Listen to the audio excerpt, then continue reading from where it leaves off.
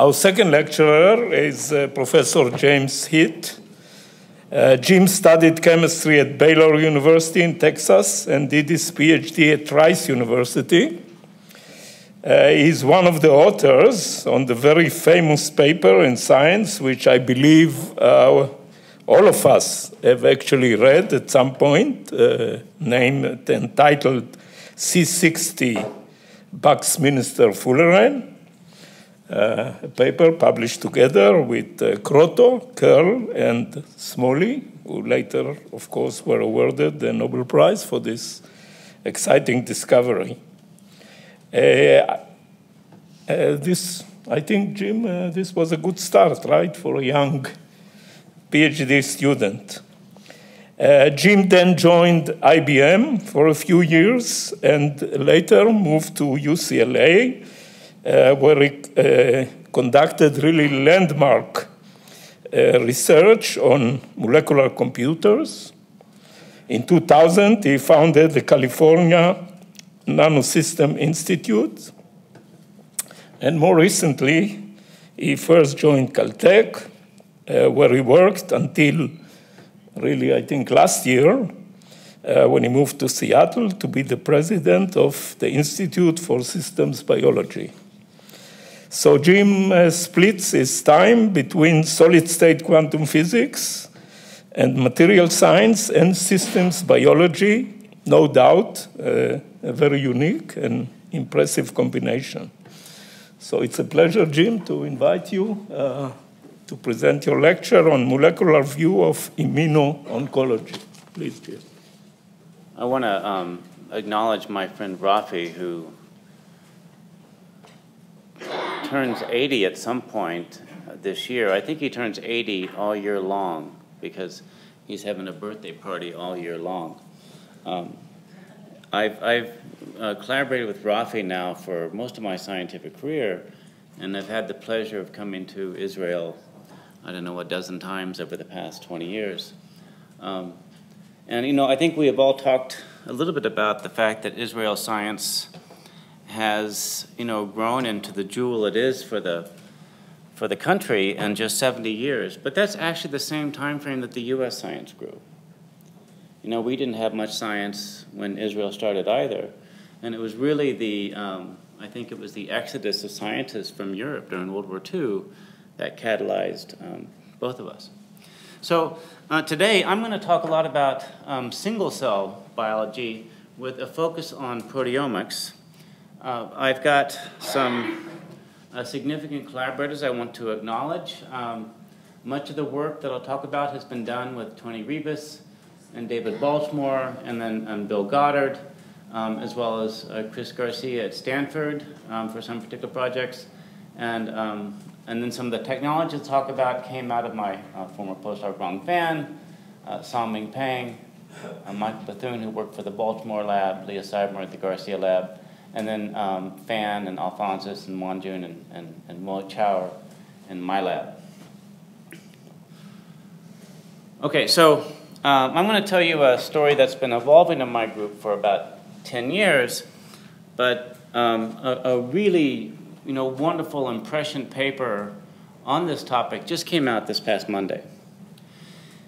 And so this was, uh, it was a paper that came out of uh, Steve Rosenberg's program at the NIH and uh, the Rosenberg program has been one of the um, true pioneers in everything in cancer immunotherapy, from IL-2 therapy onto this paper here. And what they did here is that they took a biopsy out of a tumor of a metastatic breast cancer patient. Basically, it's a death. That's an awful, one of the worst things you can have. And out of that biopsy, they analyzed for particular somatic mutations, they calculated out uh, what are called neoantigens, or, or, fragments of proteins that contain those mutations. Um, uh, they, they did a computation. They identified T cells in the tumor that seemed to recognize those, those mutations. They expanded the T cells up and put them back into the patient. And, um, and 22 months after that treatment, uh, the patient is, um, is cancer free. That paper just came out yesterday or, or, or Monday. And so I think um, many people in Israel may know of another type of, of adoptive cell therapy, CAR T cells, which uh, Zella Gescher at, at Weizmann was one of the pioneers in that area. The, I think he was the first one to come up with the CAR T cell concept. Um, that kind of therapy has worked well for liquid tumors, but it has not worked well for solid tumors. And breast cancer is a, is a, is a cancer that has really evaded the benefits of immunotherapy, but this really shows that, you know, what, what one can do. But there were some complications with this approach. So the way this, I, I talked a little bit about how this approach, you, you look at these T cells that infiltrate the tumor, you identify which T cells recognize there's a mutated protein, there's a fragment, which is now this is a, a neoantigen that gets presented in an MHC molecule on a tumor cell surface where it's recognized by these T cells. So you identify these T cells that recognize these neoantigens, you expand them in vitro, put them back into the patient. Um, and so this treatment is a proof of principle, but it, it, A, it doesn't scale. It was probably several million dollars to do this one patient. And, and B, you have to do very, very careful patient selection to, to identify people who will respond to this. So um, the project that we've been working on in um, my lab, but also um, with uh, Tony Ribas and David Baltimore, in fact, we have a, a disclosure, we have a company, um, uh, actually pretty well-funded company to do this, um, Pact Pharma, um, is to try to generalize this approach. And, and, and so I'm going to take this, you know, translational medicine is a topic that um, many universities have debated for a long time, should we get into this? And the debate, you certainly have to have a lot of infrastructure, but the debate is whether this is legitimate science or not. I think that is the silliest debate possible, but it is actually a debate. I think the universities in Boston and Stanford have actually done a significant effort in moving in this direction. But it's, a, it's not, a, it's not a, um, a topic that everyone wants to get into. But what I want to walk through is as we think about turning this type of a therapy into something that really can work for a lot of patients, what are the real fundamental challenges in chemistry, physics, bioengineering, what have you, that one encounters and has to solve? So if you want to scale this therapy, here's a, a just a, a, picture of a PET scan of a patient with just a a staggering number of metastases. Um, well, so you would like to do everything out of the blood. And so you want to identify if there are T cells in this patient that recognize antigens in the tumor, neoantigens in the tumor, but um, just take them out of the blood. Um, from the uh, exome, which is just, you can just get that from a little biopsy, a, a, a needle biopsy, um, uh, you can do computational work on the neoantigens that might attract these T cells. Um, so you from these T cells, you identify which ones actually recognize these antigens, and that is an analytical chemistry challenge. It's very, very challenging. I'll, I'll talk about that. And then you match the T cell receptor alpha beta genes with the neoantigen MHC complex 2. This is like one of the fundamental immunology grand challenges. It's not an easy thing to do. Um, separate out the, um, from the healthy patient, you separate out CD8 and CD4 T cells you edit out the endogenous T cell receptors and the MHC molecules, and this actually makes this sort of an off the shelf cell product. You edit in, to, um, and so editing in, because CRISPR is good at editing out, it is not so good at editing in, but I'll talk about the fact that actually you can do this with high efficiency. You edit in tumor reactive neoantigen T cell receptor. So this here, what constitutes, just knowing it's specific for a particular cancer antigen doesn't tell you it's going to be tumor reactive. And this is a really fundamental chemistry problem that I'll talk about. And I think that we've um, made a, a, very significant breakthrough recently on. And then you expand these engineered T cells in vitro, and you want these to be great cancer killers. killers. It's not obvious how best to do that. Um, and then you reinfuse in the cancer patient. So this would go a long way towards taking that sort of one-off type therapy and make it into something that is a manageable process for, for many patients. Okay, so I'll refer to this a couple times in this talk. This is, the, uh, this is one of these, say, uh, uh, uh tumor uh, neoantigens. This is the MHC molecule. It's, it's like a sort of a hot dog. I don't think you have hot dogs in Israel. I haven't, for some reason, I haven't seen too many. Um, and, um, an MHC, this is like, like the bun. And then, um, and this is the T cell receptor, which is pretty about as hard of a gene as there is to sequence because it's it's just it's, it's two genes, alpha and beta gene, but they're different for every cell because of VDJ recombination. And um, and here's I'll just I'll come back to this as I go through um, the talk, but here's this paradox, okay, that I think is a really interesting one, and that has to do with the fact that the interaction of this T cell receptor with the peptide MHC is only about the strength of two hydrogen bonds. It's a pretty weak interaction. And yet it is really, really specific. And so that is not the kind of thing that one usually associates with, uh, you think if weak interactions are not going to be that specific. This is one of these things that is actually very specific. And, um, and, and, it's, and I think the, the, the story of how you get the specificity is something that I'll, I'll come to in a little while. Okay, so let me talk about, but uh, just go through this list in order. So um, uh, identifying um, the candidate neoantigens, the T cells, um, and then matching the T cell receptor alpha beta genes with this, um, with the uh, antigen MHC, et cetera. Okay, so the first part, what are the candidate antigens? That's pretty straightforward. You just take the exome of the tumor, you identify the somatic mutations, you take the transcriptome, and you see what's expressed. You make a list computationally. You can do, uh, on, for many of these MHC molecules, each of us has probably got six different ones. Most of us don't have the same as everybody else, but um, but for some of the more common HLA alleles that present these antigens, you can do reasonably good calculations, and you get a rank order list. So there's a mutation, this, this, uh, uh, this red bit here, um, of, of, of how these antigens will bind to this MHC allele. So that's the binding constant in nanomolar. So for a particular HLA allele, for a particular patient, you get um, 500, um, up, to, up to 500 nanomolar. There's, say, 50 of these things for six HLA alleles, one would get on the order of 300 of these, okay? And so if we go back to this initial patient I talked about, the, the breast cancer patient, that was unique to that patient. That therapy would not have worked on anybody else. That was the, so this is completely personalized medicine. This list will be unique to this patient.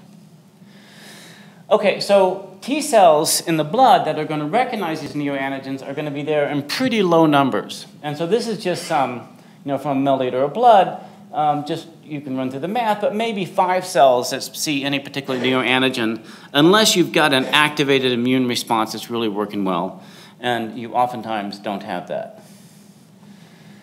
So the gold standard of how one does this um, is that you take this, um, this is the MHC allele presenting the, the uh, neoantigen, that little brown thing there, and this, because it's such a weak interaction for the T cell, like a one micromolar type binding constant, you make a tetramer out of it with, with a, a streptavidin. And, um, and so um, a Tone Shoemaker's group developed this method. Here I take the exact same molecules, but I put one on a, on a red labeled uh, a mol, uh, one on a green one. And then I use them to label cells out of this uh, vial of blood. And ones that come up that are both green and red are, um, uh, uh, are, are, are, are the are the ones I want, okay? So how do you test the sensitivity of this method? You need a realistic sample. And so this is where um, this issue of how do you efficiently engineer a T cell receptor into cells, not just CRISPR added out one, but the CRISPR added in one comes into play. This is work that Alex Marzan is not, it's published on bioRxiv. It's not a, a paper yet, but I can guarantee you it works. We've, we've, we've used it. Um, he's found that there's a particular CRISPR method with T cells, and probably because T cells are dividing, that you can get like about 30 to 50% transfection incorporation of, of the T cell receptor gene. So you knock out with high efficiency, but you knock in with, with pretty high efficiency as well. And so we call these um, Cokiko cells. My students for a while thought these that weren't on this project thought these were cells that we were getting from Japan. They're not. It's knockout, knock in, knockout. Okay, so we, we, we prepare some cells like this, we just spike them into healthy um, blood, and you measure the sensitivity of this method, and we've got a 33% expression rate, and you detect roughly about half if you go to very, very, like single digit numbers, which is what we're going to have to be seeing for neoantigens, you see about, you know, half of these cells that you spiked in. Um, and you can, um, uh, uh, and, and, uh, and know it's a pretty reasonable R squared. If you look at the very low numbers, you know the R squared is obviously not as good. Um, but so that's not good enough. So we developed an alternative method, and all it does, it's, it's very simple um, uh, uh, uh, trick, is that instead of having a tetramer, you put the tetramer itself on the nanoparticle. So now this nanoparticle has 100,000 tetramers. So now you get really, really high avidity compared to just uh, uh, what you get from having a former.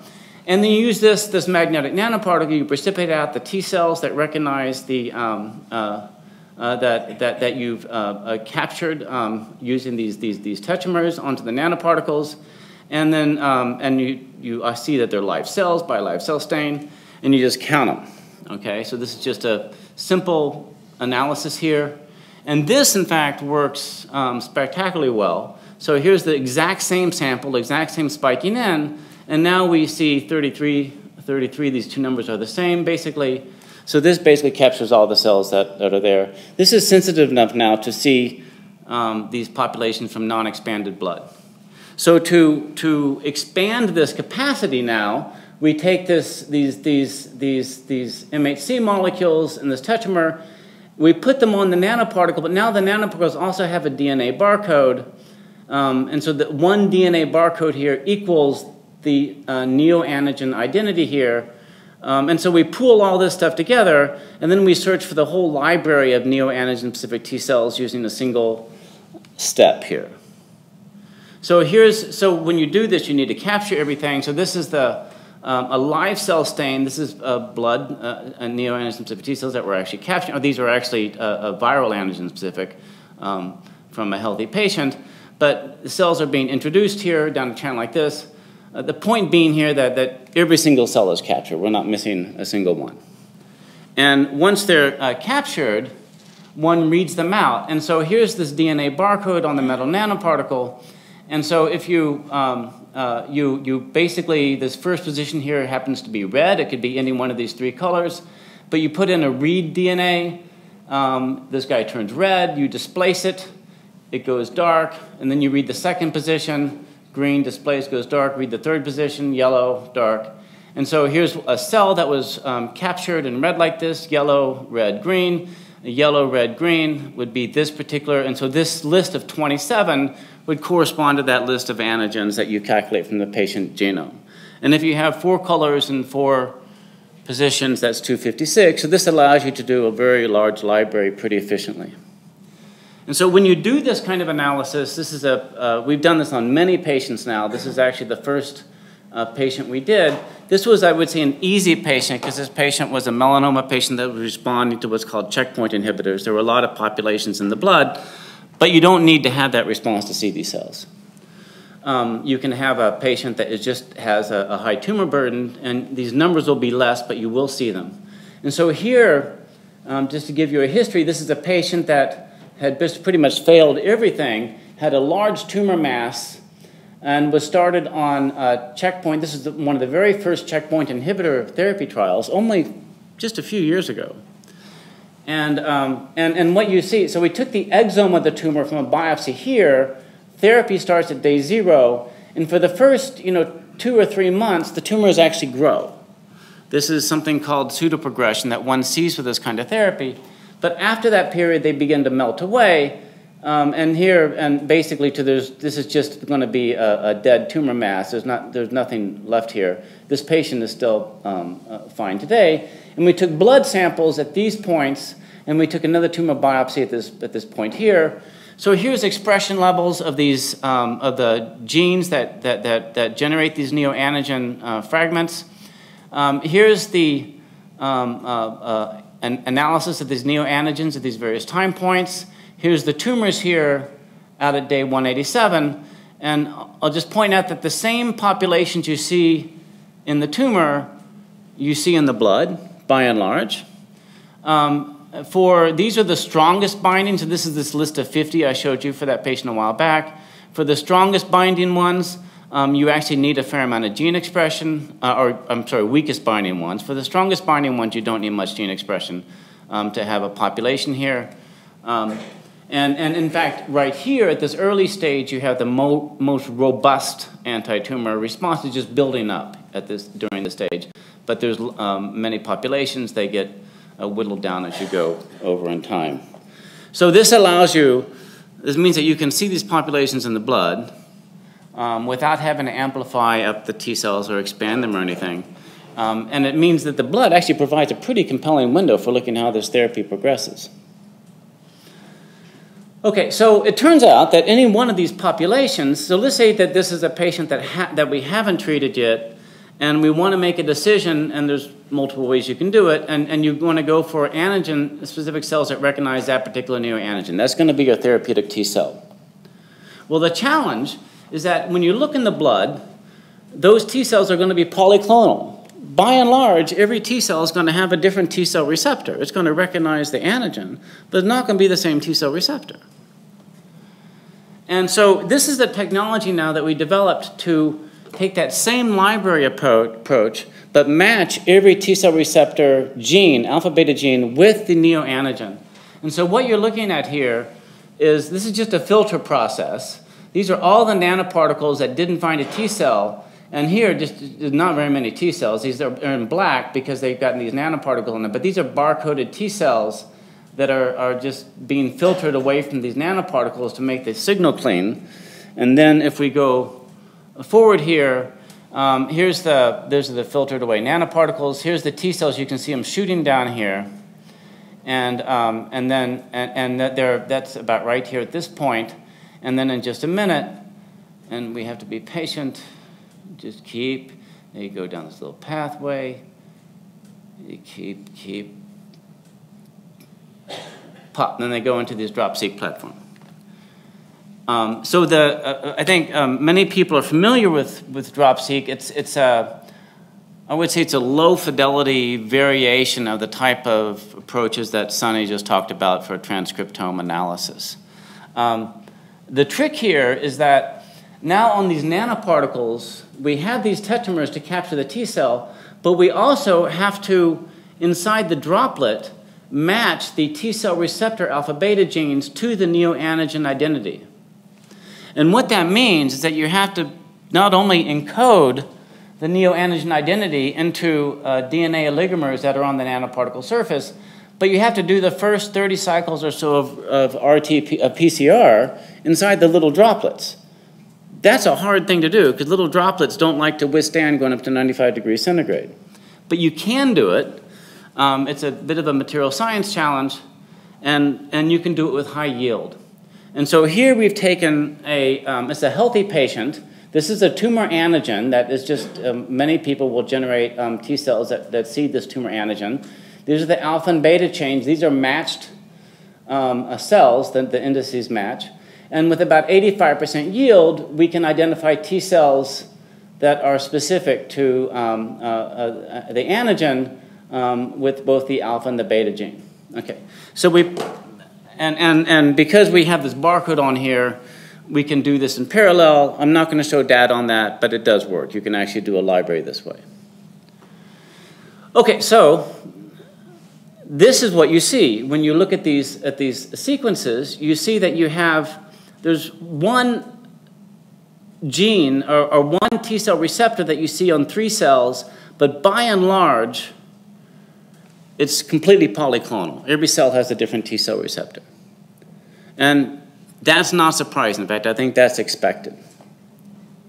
And so the challenge here is if you're going to pick, let's say this is the tumor antigen and you want the T cell that recognizes that antigen, which ones of these, which one do you pick? What's the therapeutic T cell? And, um, and so, in other words, which of these T cell genes is going to constitute an agonist T cell receptor neoantigen MHC interaction? And, uh, and this is, and TCR binding is not the full story. So this is going to come back to this, this fundamental challenge of you have a, a weak binding interaction that tends to be very, very um, selective. And I wanna, I'm going to spend some time talking about this. This is a problem that we um, you know, really got serious on working on about a year ago after we had a, a number of conversations with Chris Garcia uh, um, during a, a, trip I took to Stanford. Um, and so let me just give you some background, because this is a problem that's been thought about for a long time. So people, there's a lot of papers that say it's the kinetics of the interaction. There's a lot of papers that say that, in fact, here's a really strong one that says CD8 T cell activation is governed by the affinity, not the dissociation rate. And here it's basically confinement time, dwell time, once again, affinity, kinetics. So there's this broad literature on this with no particular molecular mechanistic insight into what's going on here. And Chris had found some, um, had done some interesting observations. So he has this platform where he can, through, it's kind of a phage display platform, where he can make um, uh, libraries of antigens, identify their binding affinity to T cell receptors in, uh, uh, as, as antigen MHC complexes, and then do various physical measurements on them. And so what he found is that if you take this complex, this is the um, uh, uh, TCR, the antigens right here, this is the MHC molecule. If you put these on two, two cells and you basically pull on them, you expect that by and large that's going to make these cells come apart. But it turns out that for certain of the T cell receptors, uh, peptide MHC interactions, you do it and it actually increases the lifetime of the interaction. And the picture in people's mind has been what's called a catch bond. And a catch bond is um, the reason why it's called that is, is as if you have a fish hook that's embedded in something, and as you pull it apart, that fish hook catches. And so now you actually have a stronger interaction when you give that force, okay? And so here's three examples. This is a weak binder, but it's an agonist. So this one normally wouldn't be expected to, to activate the T cell, but it does, and you see this catch bond. Here's a strong binder and an agonist, and you see this catch bond as well. It's not quite as clear, but you see it. Here's a weak binder and a non-agonist. In fact, this one binds, I think, just a little bit stronger than this one, but it doesn't do anything. This is a, an, an, HIV uh, uh, uh, antigen TCR, and you basically see um, no catch bond at all. And so, so to address this problem, um, I, I, had, I hired a postdoc because I don't, I'm not very good at doing, um, but I thought with molecular dynamics we could address this. And so I hired postdoc Fan Liu and then um, and, and got Bill Goddard, in fact, very heavily engaged. So we, we now um, have, have, have, for the past year, met. When you meet, when you work with Bill, you get to meet with him at 6 a.m. on Sunday morning. That's basically the time that we meet. It's, it's a, it does wonders for the home life, you know. I guess Mary's here. She can probably agree to that. Yeah. Um, and, and, so, and so this is the, the, the, scale of the calculation. So what we wanted to be able to do was see if we couldn't do a, a, a, a simulation of this association, identify what are these mechanical or these catch bonds, what is the basic nature of this, of this interaction. And so here's um, one of these catch bonds. And so just pay attention to one of these. These are salt bridges or hydrogen bonds, what have you, just a kind of weak interaction. But we're dissociating the, the complex here. And, and just pay attention to what happens. And look, it switched from that partner to that partner. And if you looked at any one of these, you would have seen that happens. And so what we found is that for these particular catch bonds, when you, you don't you don't pull the thing, if you have a pencil, you don't pull at the lead in the eraser to break it. You, you, you bend it to snap it, you shear it. And so in this case, if we shear along plus or minus x or plus or minus y, for any of these catch bonds, we will see, um, uh, we will actually see these catch bonds. And so what you're looking at here, this is the bond that's formed in the, and what we estimate to be from our, our calculations, the equilibrium uh, uh, uh, ground state of the structure. As you dissociate, this bond comes in and takes its place. And here's a, a similar case. Now you actually get two partners. Uh, similar situation here, similar situation. So these are the four major interactions here that give you this uh, T cell receptor PMHC uh, binding, and all of them form these catch bonds. And here's the, this is, I think, a, a, a, really interesting observation. So this is one that actually forms no catch bonds. You do exactly the same calculation, no catch bonds, just like in the experiment. There's no, um, and there's no agonist behavior here that's seen. The only difference between these two is this valine and isoleucine here. It's a single methyl group. And this single methyl group is enough to block, sterically block these catch bond formations as this thing dissociates. So it's almost exactly T cell receptor, MHC, peptide, exactly the same system except for one methyl group. But it's enough to control everything. And this just shows now for these two um, uh, agonists, and this is the, the non agonist, so you see this is always zero. So no matter how you dissociate it, you see catch bonds. But for the agonist ones, you, you, um, uh, uh, you, you continue to see them, but here you, ne you never, for HIV, you never see them. So I think this actually also goes a long way toward explaining the specificity of the T cell receptor peptide MHC. Because it's not just a, a, small number of weak interactions, it's basically a whole barcode encoded on this peptide MHC that interacts with the T cell no matter how you shift it. And so there's actually a whole bunch of interactions that are encoded there that lead to activation. And if you don't have those, um, you don't see that activation.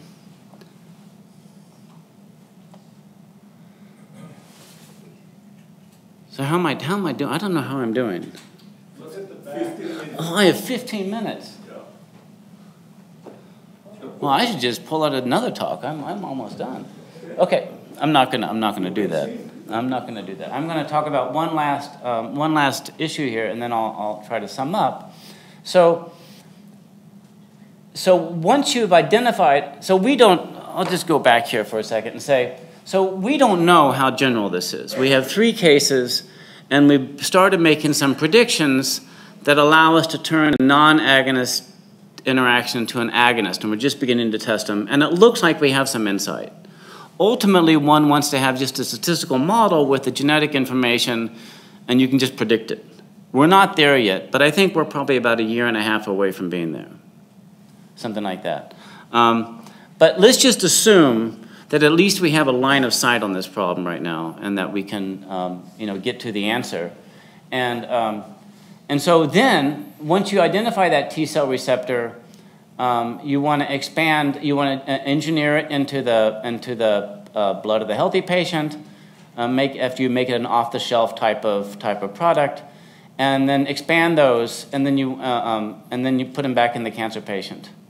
And you want to make sure that this uh, expansion in vitro um, is an effective is an effective approach, and this is uh, it's not obvious how to do this. And if you look at um, say the CAR T cell literature, you'll find that um, you have a lot of you, toxic effects. There's neurotoxicities that happen. You'll oftentimes have no response at all in the patients. Um, and so, so having good metrics for how you do this manufacturing is an important issue. And, uh, and the most effective metric um, has come out of this measurement here, which um, was developed in my lab, um, you know, uh, seven years ago by, um, by Rong Fan and Chao Ma. And the basic idea here was to be able to look at the secretome of single T cells. That was the basic science approach and to try to look at it as a highly multiplexed analysis of as many of these secreted proteins as we possibly could from as many T cells as we possibly could at the same time.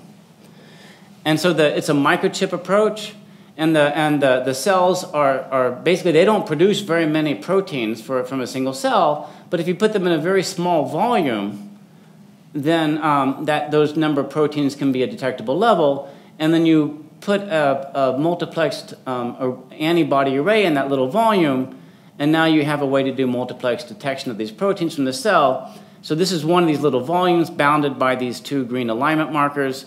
In this case, we've measured the same proteins twice from the single cell.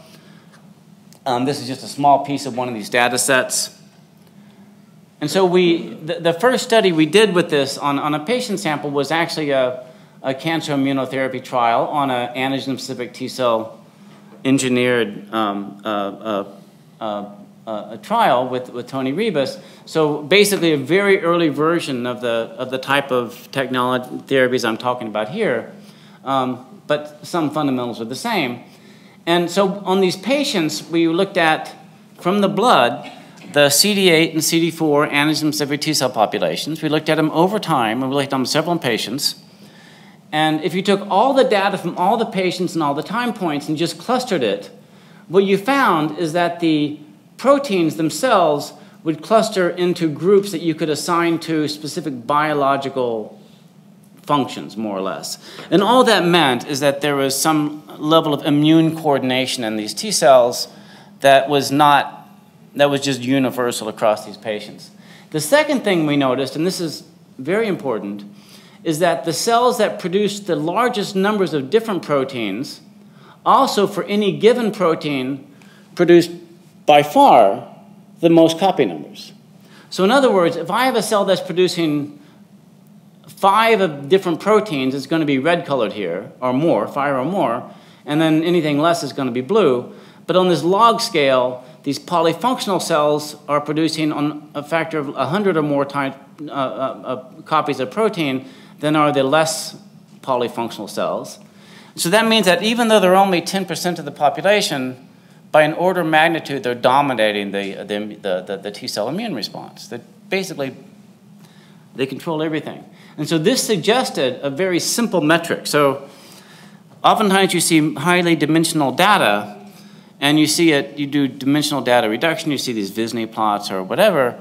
This is just a, this is just the simplest possible plot. It just says you take the number of, of, of proteins that are being secreted by a, a given cell times the copy numbers of proteins from that cell and, and, and, and sum them up over, you know, say, a, a, thousand cells that you measure from this patient, and you get a polyfunctional strength index. And you measure that for different patients. And so we've used this now as a metric on a lots of trials. I'll talk about one of these.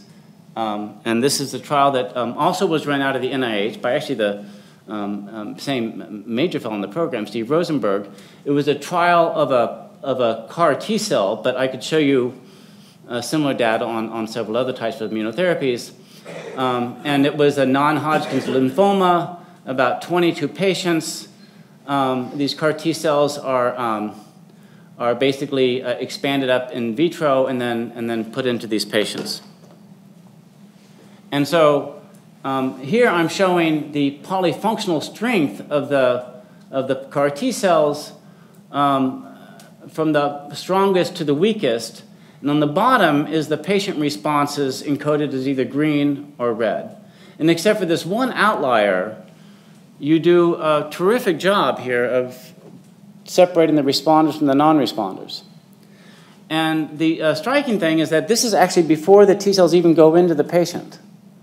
So normally, if you see a patient that doesn't respond, you want to you want to go and study that patient. You look for what's going on. That's not the case here. It's just a manufacturing approach. And it says that the T cells, in fact, that the T cells that were infused here um, were probably not optimally manufactured compared to the T cells that were produced back here.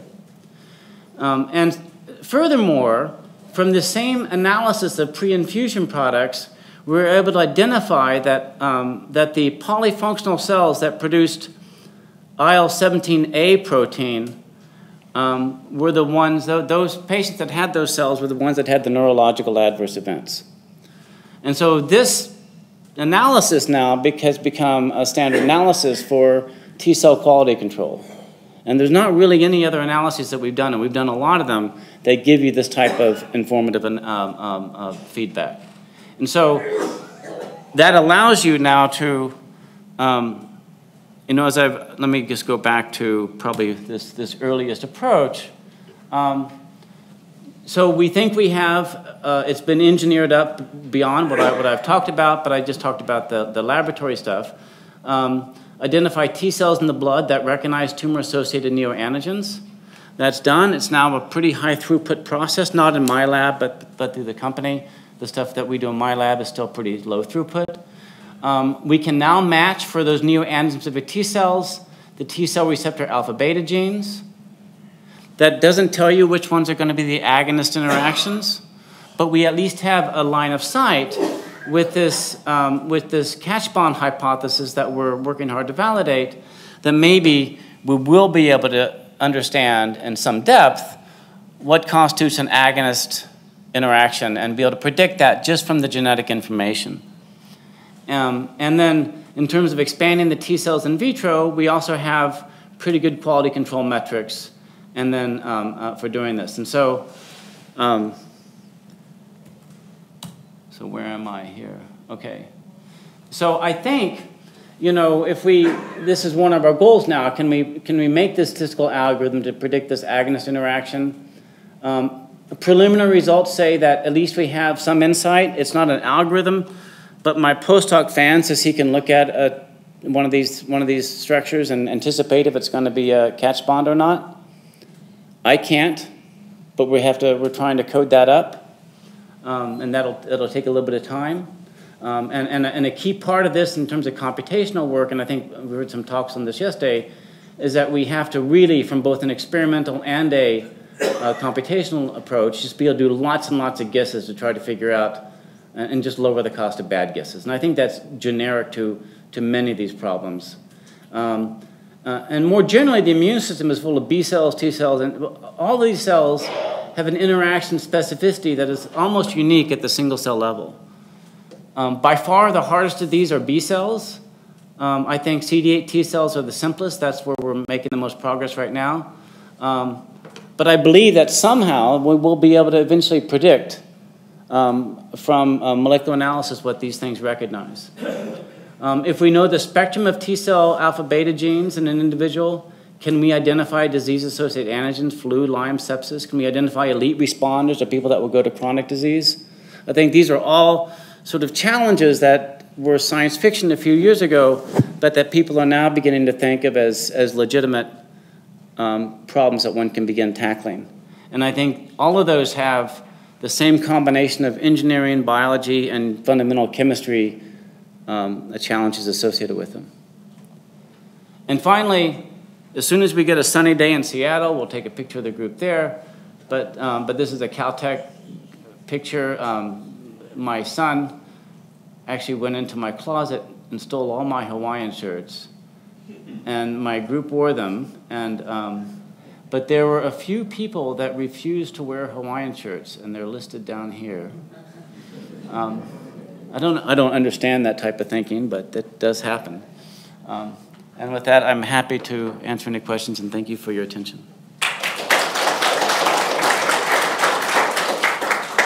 Yes, Shimon. Jim, you mentioned. Uh, uh, uh, Oh, sorry. Sorry. Thank you, Jim. Yes, uh, for showing us the role of uh, chemistry in these important questions. And now, yes, your turn. Jimmy, you, me- you mentioned a $7 million try per single patient uh, in the Rosenberg trial. Uh, with all this automation, have you ever done a cost analysis? How much will it cost to treat a patient? So, um, my feeling is that the cost can get down to about, in terms of cost of goods, to about $35,000, something like that. Um, so let me describe the various advances that lead to that. So one is that a lot of this stuff becomes automated. Um, two is that I didn't go into it, but a lot of the chemistries here for, for detecting these antigen-specific T cell populations are very inefficient chemistries. And that's a problem that's been solved through a, a, biological method now. No limitation on library size, no limitation on HLA allele, which was a major limitation of the methods I showed you. When you wanted to do an adoptive cell therapy on a patient, you basically had to have a clean room, GMP facility, for that patient to prepare that sample. Very labor intensive.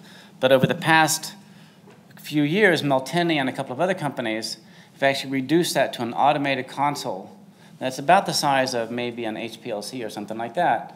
And each automated console is its own GMP facility, and you can put many of those into that same room that you were using to treat just uh, one or two patients. The idea of being, and we won't try this in our first trial, our first trial will be coming up here in about eight months. The idea of taking an off the shelf cell where you've knocked out the HLA alleles, which seems to be a, a good strategy, um, I think that will dramatically lower the cost. That's not something that is, is, will be done in the next uh, year or so, but it'll be done within the next three years. So all of these things together, I mean, this was, a lot of the, these technologies were, were completely science fiction until Kite and Juno came along and did a lot of investment. And so we're riding on the backs of those, of, of a lot of those companies in, in terms of that, those types of investments and, and things they've made in making cell-based therapies. All we're doing is personalizing it here. It's a big step, but it's a, it, it, it, it builds on a lot of what's been done over the past um, decade. Yeah, and if I may add, uh, we have learned from experience that it's in these things it's very hard to predict how fast the expenses go down, and of course, uh, the genome is, is an excellent example. How, Yeah. it, how it dropped from tens of uh, million dollars to one thousand dollars or even less. So I think companies will still charge a lot of money for this. I hope not. Yeah. But they, but they, they will still, it, it won't be a cheap therapy for quite some time. good. Yes, please. I'd like to ask a molecular dynamics question. So I was really intrigued by these catch bonds. And I wondered if there's any merit in uh, sort of taking a more dynamical perspective. In the following sense, I'd like to make an analogy with the old story of the waiter and the tablecloth. So I can set a table and I want to remove the tablecloth. And if I do it really quickly, then the table remains set. If I do it very slowly, all the dishes end up on the floor. So same tablecloth, same dishes, but it matters whether I do it quickly or slowly. Is there any merit in thinking about the way catch bonds operate in this way? I don't know. That's a good question. So typically, I would guess that the you're not going to have really fast motions, at least not beyond what you might anticipate, because these are two cells that are together. The masses are pretty large. And when I talked about these applied forces that cause these cash bonds, these bonds to live longer and these cash bonds to form, those are basically forces that are within thermal motion of these systems. Um, it's a it's an interesting question. I don't know. I can't tell you if it's relevant or not. That's a I, I don't know.